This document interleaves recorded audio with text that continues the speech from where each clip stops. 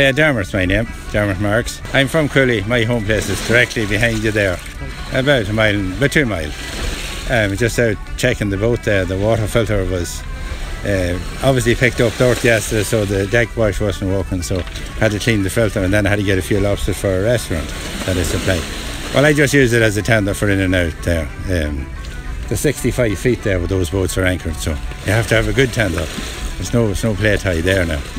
Every day God sends me lobster and crab we go after. Well, we sell them on. Um, restaurants and uh, there's a good lot go for export to China. That's the, the main market at the minute.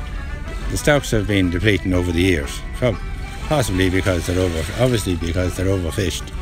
The crab population is very bad, um, very bad, uh, badly depleted because a lot of females have been exported over the years to China. They were buying females only. So if you take the females out of any uh, group, you know what you're going to have then. So that's the problem. Well, it's 85 as you can see.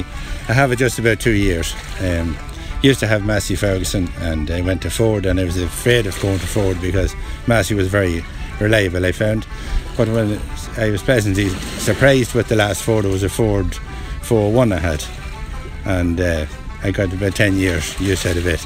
Obviously the sea error takes an effect on it, but decided uh, two years ago that we'd change it for this one here. So, and uh, the first thing I did, uh, you see, I took off the wheels and tyres and got them galvanised and back on. So hopefully I'll get 10 years out of this one.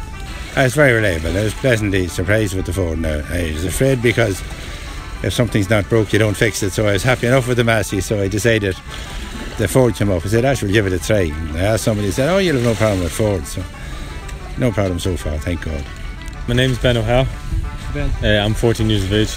I was down there to get a couple of lobsters and crabs in the boxes that we have. Uh, not full time, but I like to do it now and then. I do love and go enjoying going out in the water. I like to be uh, going to engineering or something like that, or architecture. I wouldn't mind doing that. But I would, I would like to keep the fishing in mind as well. Uh, do that down the years as well. My granddad used to do it before he passed away. He was Brandon Kane, and uh, I never got the chance to do that. I was five years old, but uh, I had the opportunity with Dermot Marks to come out and do the fishing. I'm really enjoying it the last few weeks.